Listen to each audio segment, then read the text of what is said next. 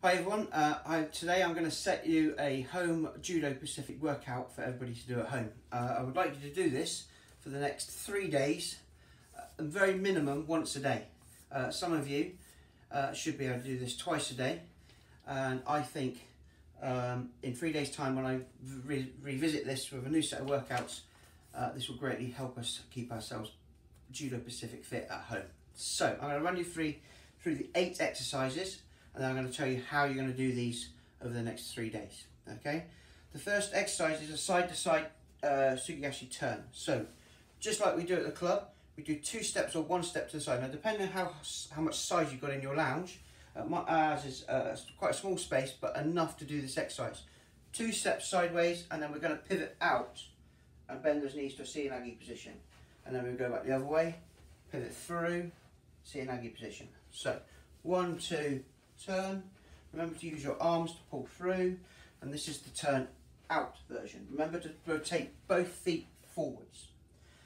That's number one. Same exercise number two. We go back, but this time we pivot back towards the wall. Here, toes pointing forward, slight rotation of the shoulders. So we're coming through again.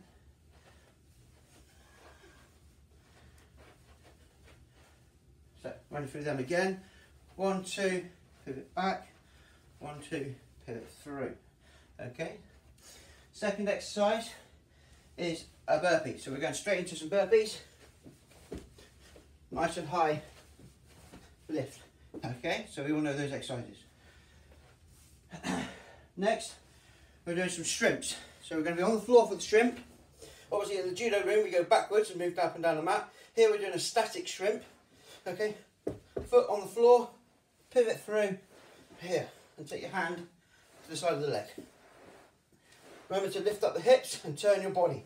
One, two, three, four. Okay, so there's the static shrimp, left and right. You're then going to do Kesa-gatame turn uh, to Ushiro, Ushiro Kesa-gatame. So, starting position is your Kesa-gatame stance.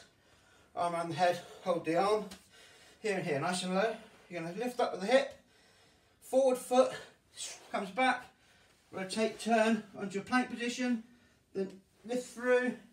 And then you reverse Kesa from the other side. Lift with the hip, hip through. Down to Mune-gatame, hip up, sit through, Kesa-gatame. Hip up, hip through, hip up, sit through. Hip up, sit through, hip up, sit through. Okay, there's your Kesa-gatame rotations. From there, you're doing the uh, press up, raised press up position. So you use a table or a settee. Uh, you want a hands distance away from the settee or table. You do a press up, stretch out into plank, touch the settee.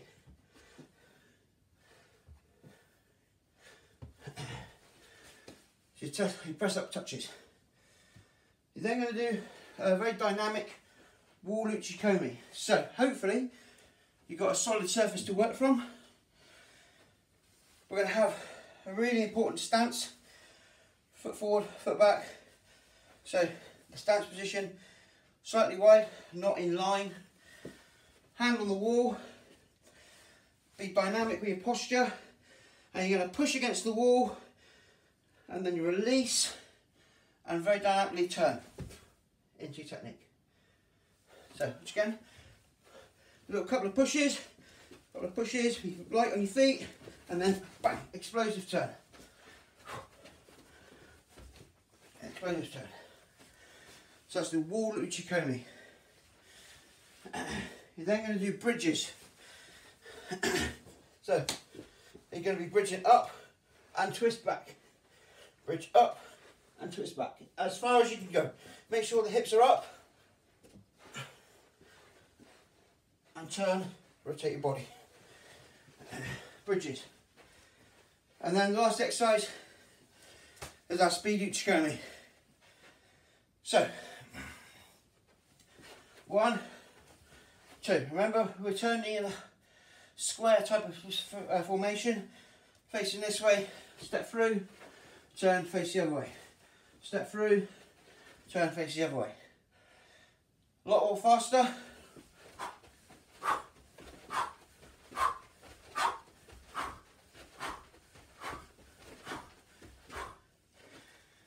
Okay, so there is your workout to do for your judo this week. Three days, and this is how I want you to do it. I want you to start with 10 reps on every exercise. Have a little breather, then do eight, six, four, and two. If you're still feeling okay then, you then to go back up again in a pyramid. So you start with two, four, six, eight, and 10. That would be one complete circuit. Good luck with that.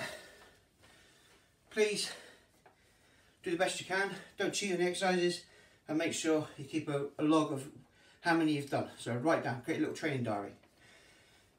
Eight exercises, three days of work. See you again. Take care.